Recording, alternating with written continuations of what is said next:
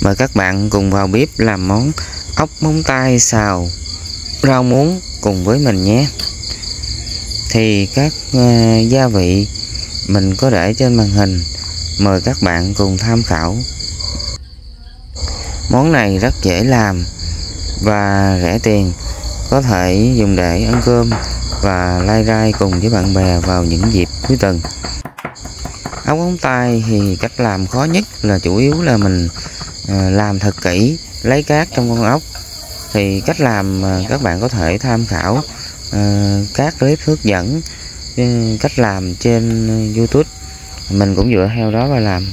Mình muốn ăn ngon thì tự tay mình làm và lấy cát ra sạch thì món ăn sẽ rất ngon. À, tuy cực một chút xíu nhưng mà rất là ngon các bạn.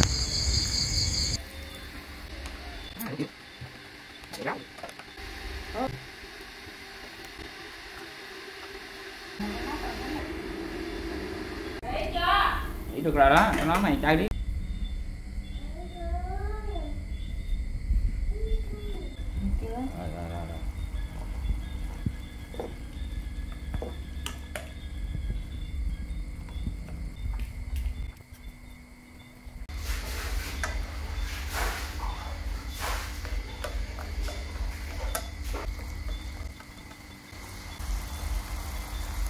Các bạn có ghé ngang xem video.